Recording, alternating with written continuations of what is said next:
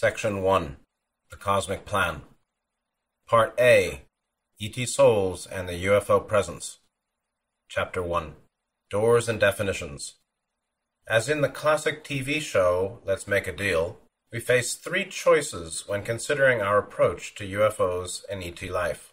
First, there's door number one, through which we find nothing more than facts and figures on sightings, material evidence, cover ups, and conspiracies. Inside this box, we find endless debates between those with secret information and those who deny it, UFO researchers of various stripes and professional debunkers, the so called scientists who guide public opinion of cosmic truth, the late Carl Sagan having been foremost among them. These two groups, strange bedfellows indeed, have been locked in mortal combat for the past fifty years. Each side claims to hold the truth, but neither is convinced by the other. One says yes, the other cries no. To be honest, die-hard skeptics will never cry defeat, while UFO researchers, no matter how professional, such as Dr. John Mack of Harvard University, who specialized in abduction research, they cannot produce indisputable proof of alien life, cover ups, or secret deals either. I guess it is to be expected, but what really seems sad to me is that this whole battle actually does quite little to improve humanity. Like nomads fighting over sand dunes in the desert, arguments between skeptics and believers are fruitless, and in any case, the human spirit can never be nourished by physical ET proof or evidence of cover ups. Material evidence is mute for speaking to soul.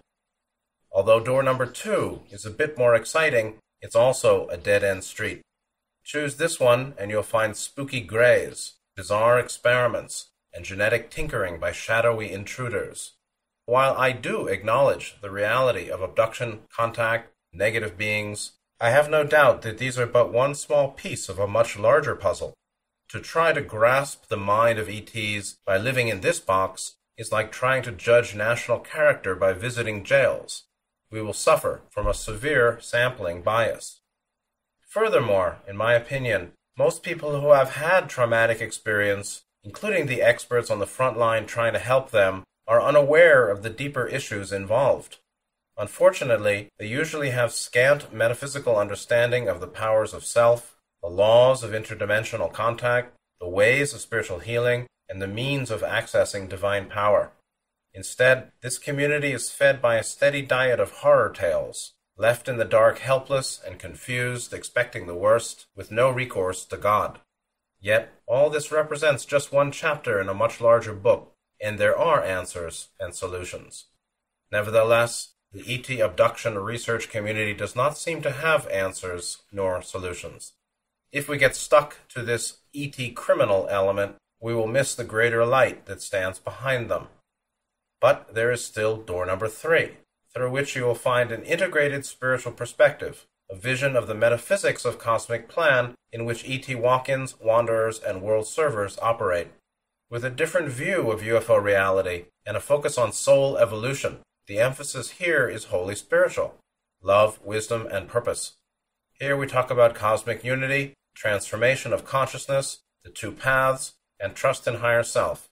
While skeptics and researchers are locked in endless debate, while anti conspiracy activists rail against the system, which, by the way, is going to collapse soon anyway, and while abduction researchers either lament or happy spin their tales of negative ET contact, we can go a whole lot deeper by considering the spiritual view. Beyond this third door, we can find inspiration, purpose, and meaning, as well as real people who've been awakened by rare experiences. They're not arguing, they don't predict doom, and they're not trying to convince you of anything, nor am I. They affirm that the cosmos is filled with intelligent life and they say that love is the key. But more importantly, their message reveals a more balanced picture of universal life, a picture in which UFOs and ETs make perfect sense. Basic definitions. In describing ET souls, I often use the terms walk ins and wanderers. This second group is also called star people, starborn, or star children. Although their higher dimensional origins and life purpose may be the same, what distinguishes them is how they took birth in human form. Walk-in. This term describes a process of interdimensional, interplanetary soul exchange. as well as the individuals who experience it. In this process, a soul from an older ET or angelic civilization or a more evolved Earth soul enters the voluntarily surrendered body and personality stream of a human being to better serve humanity and Earth. Interestingly, some walk ins do not consider themselves ET souls and have little interest in such matters. In my view, however, most so called walk ins are actually wanderers, as I believe that genuine walk ins are far more rare than people imagine. See Chapter 3 Extraterrestrials Living on Earth for one story. Wanderer.